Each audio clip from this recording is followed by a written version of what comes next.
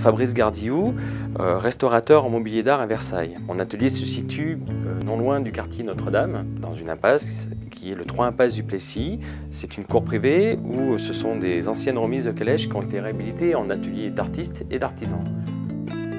Mon métier consiste à restaurer le mobilier qui va du XVIIe au XIXe siècle, avec des décors de rustiques ou marquetés, Marqueterie Boule, qui est une, association soit de bois ou de matières euh, comme l'écaille de tortue et le laiton, l'ivoire ou la nacre.